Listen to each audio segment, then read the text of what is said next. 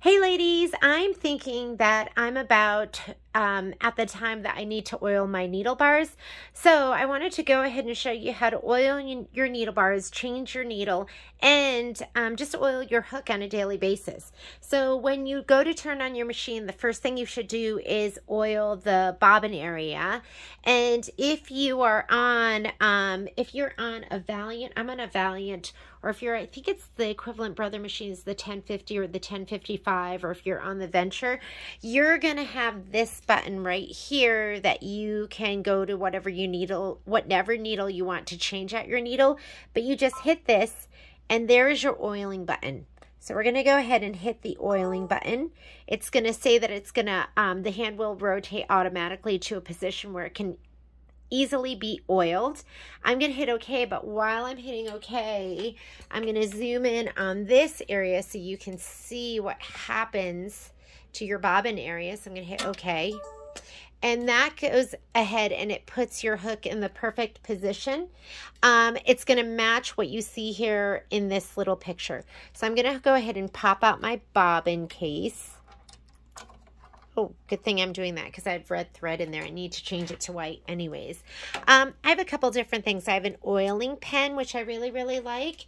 And then I have an actual oiler and this zoom is my preference.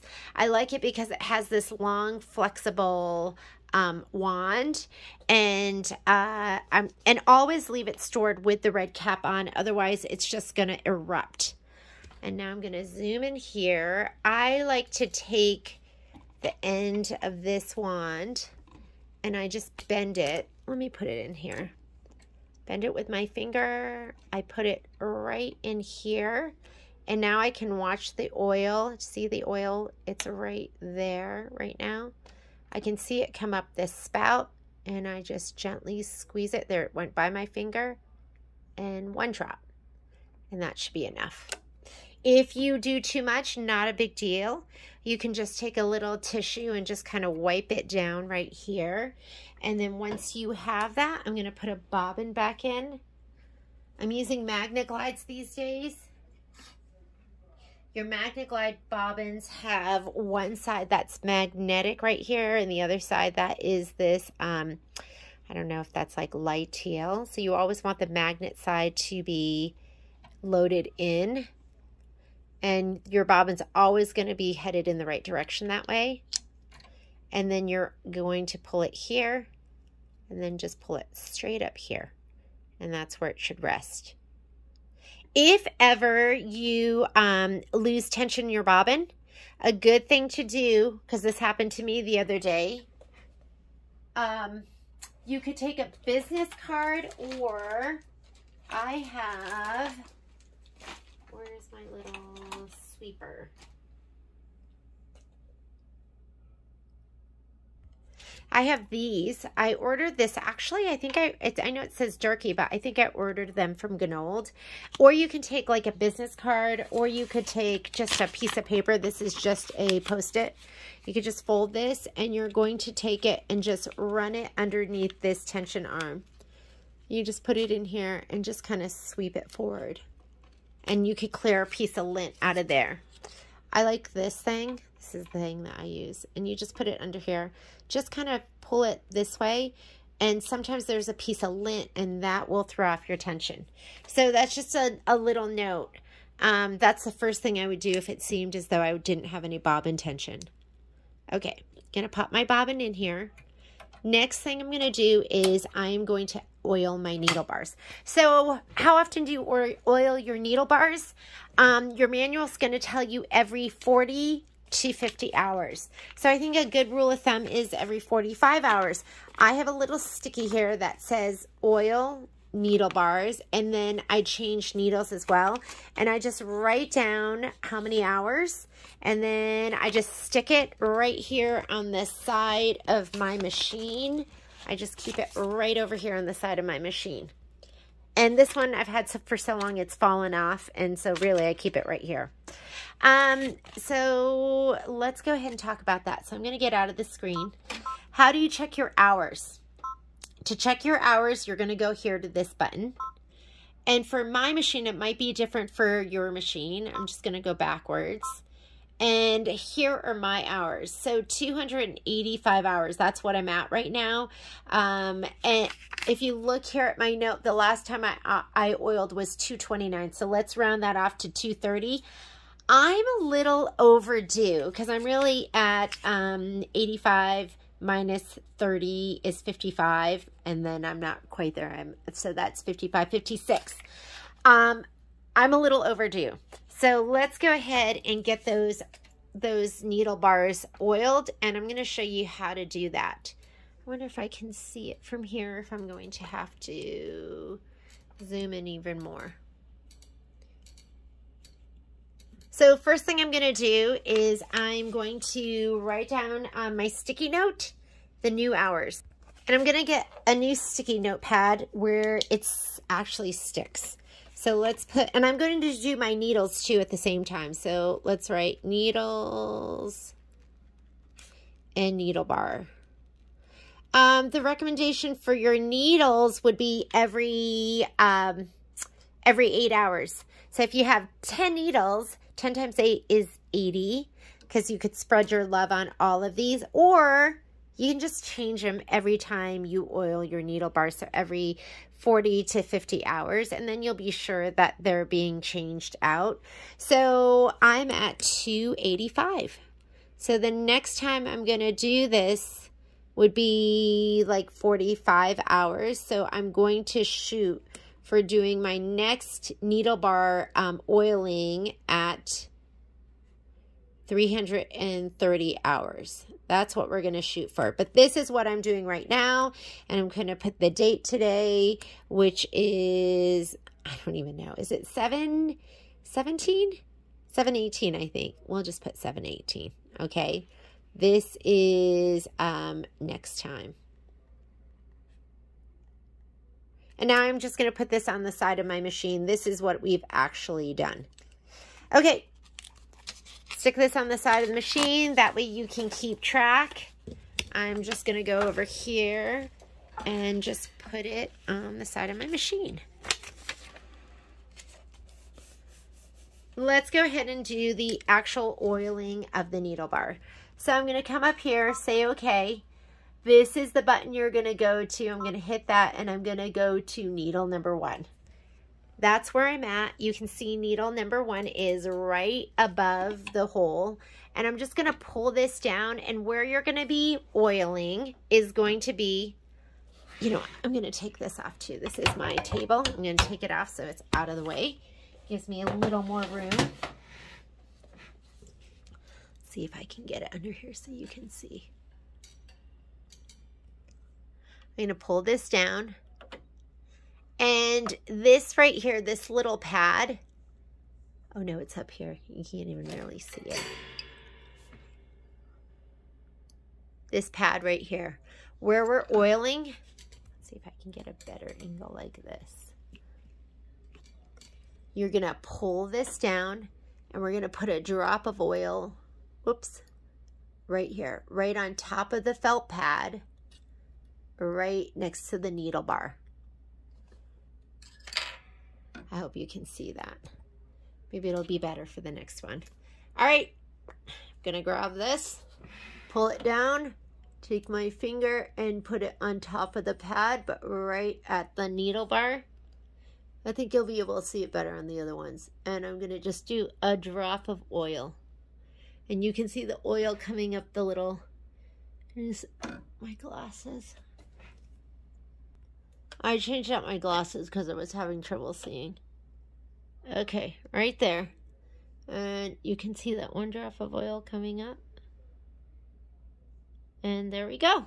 That one is done. Let's do the next one. So you're going to notice that this one pulls down about half an inch above the hole in the needle plate. The one next to it will come all the way down. So this is going to be even easier for you to see. Here's my needle bar. Here's my felt pad right here. I'm going to put a drop of oil right where the metal, where the needle bar and the felt pad meet.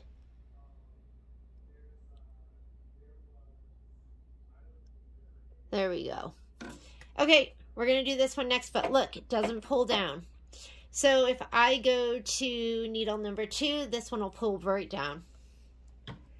Back up at the screen, go to needle number two. Oh shoot, here we go.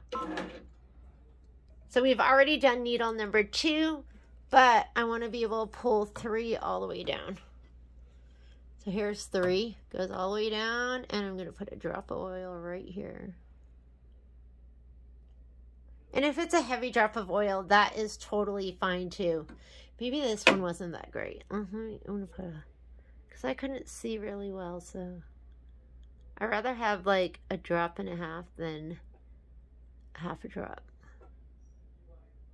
I can't, still can't really see that one. Okay, I'm going to hit my three button, move it over. Four is going to come all the way down. I've already oiled three.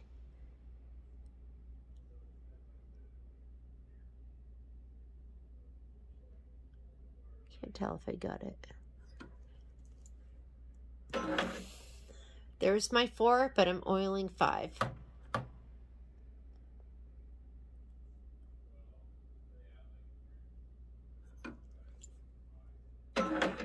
I'm oiling six.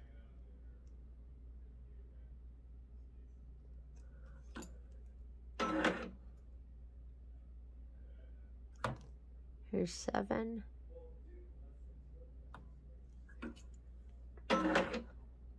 Eight.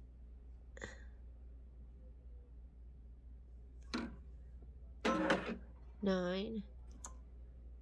Don't worry about all the thread coming undone because we're going to change our needles out too. And 10. Here's 10. And needle bars are done. Okay, let's go ahead and change out our needles. So I don't know where I put my needle changing tool. You have like a white handled tool that is an Allen wrench like this. This is the one that goes with my serger and it's the same fit. So I'm just going to use this. So let me go ahead and pull this back a little bit. I'm just going to go ahead and pull these down and change each one of them. So if you just turn it twice, this is going to fall right out. There's one. And you can just keep your hand under here and kind of catch it. See if I can do this where I'm not in the way. Should fall there. There's two. I wonder if it's a better view from over here.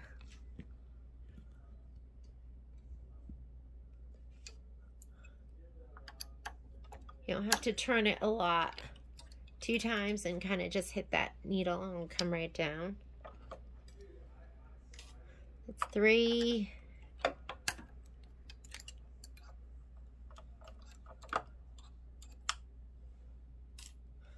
Four.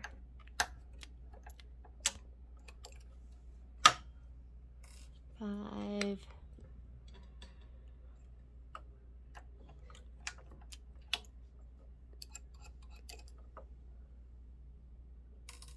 six.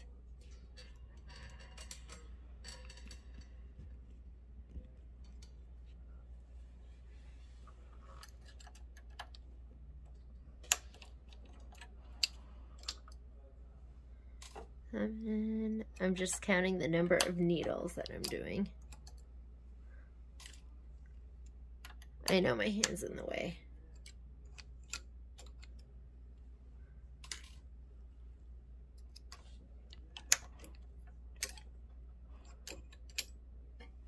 All right, there are all your needles. Make sure these go in a safe place.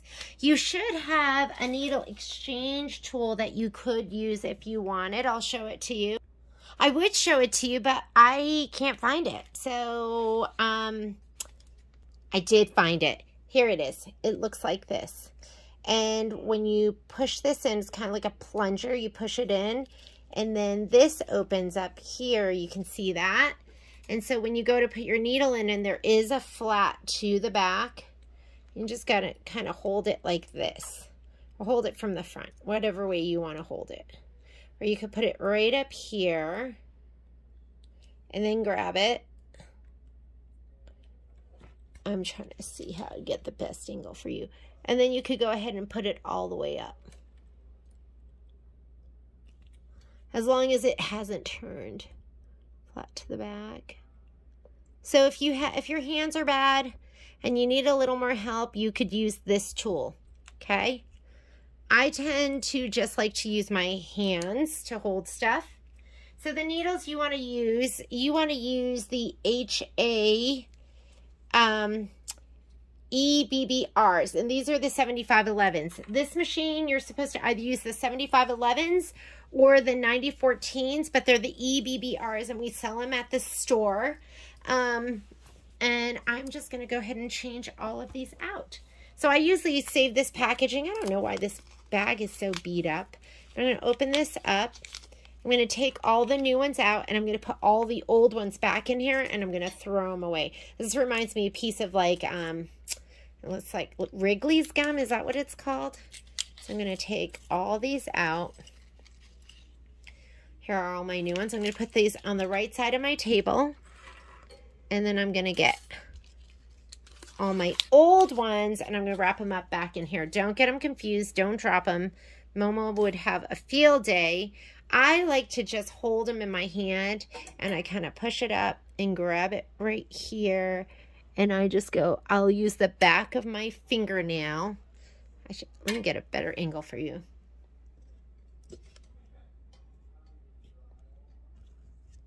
And I'm a little bit from the right right now.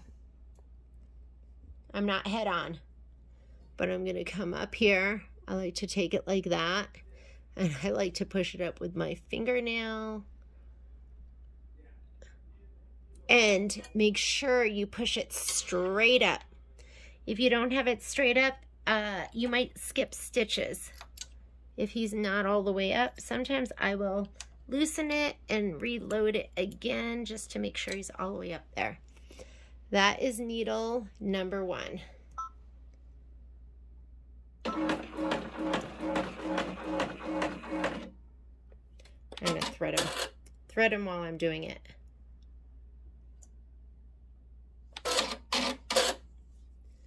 Okay, let's do, let's go to, I'm going to go back to six. I'm just pushing it so I can have access.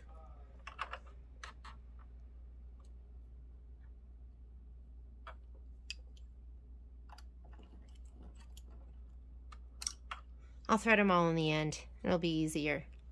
Here's number three.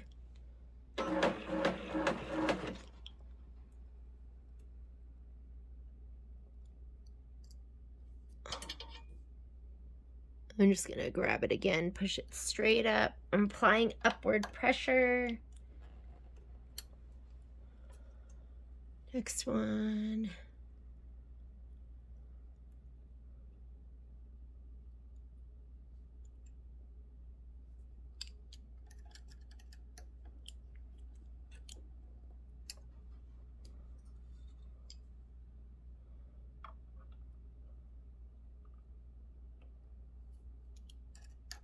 And you could use that needle exchange tool too.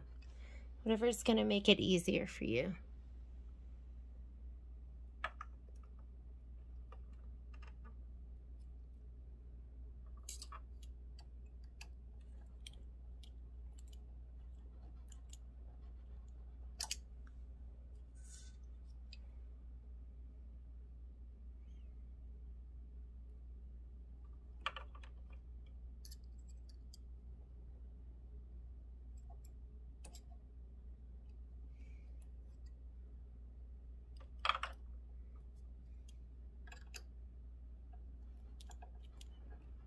I'm going to move to needle number one right now. I'm needle number 10 right above the hole in the needle plate.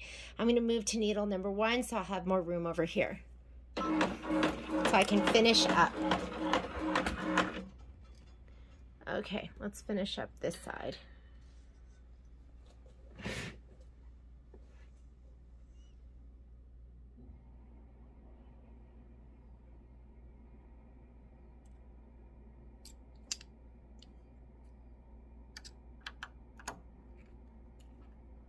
That's not a very good view for you, is it? Hang on. Let's go over here. Right angle. And I have two more.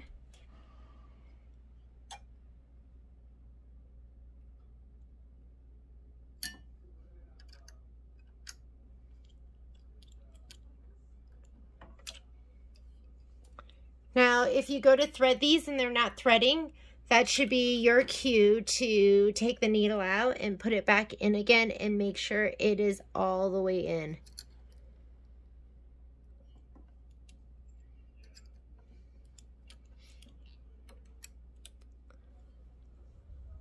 Those look good. Let's go ahead and thread them up now. Okay, I'm just to go right through them. So number two, and then you're not to see this screen, but I'll just show you my threading down here. That's number two. grab that.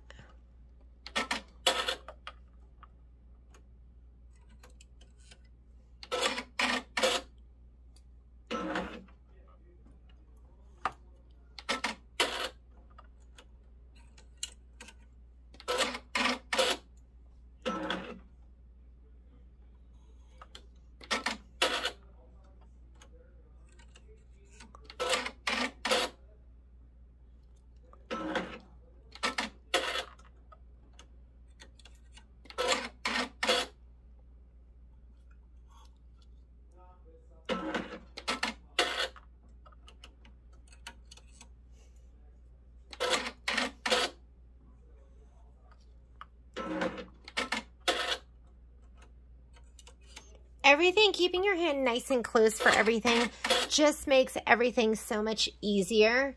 So here's eight. I'm going to bring my needle forward to the right of the threader, to the left of the whole threading mechanism, and then up and round. Number nine. Number nine, I'm out of the thread guide. So I like to do is pull down, put it behind the thread guide, let it pop up, and then pull it into place. Whoops, still on number eight. Let me get to number nine.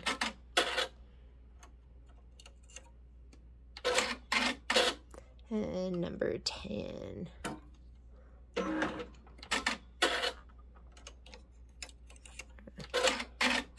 And we are done. Needle bars are uh, oiled. Hook is oiled. Needles are changed. And everything is threaded and everything threaded perfectly. And so you want to do that every 40 to 50 hours. And the needles, I mean, you could change those um, every two times. So, uh, you know, I used to do like every 80 hours, every 80 to 100 hours. And now I just decided I'm just going to do it every time I oil my needle bars. Hope that helped. If you have any questions, call the shop and I will see you later.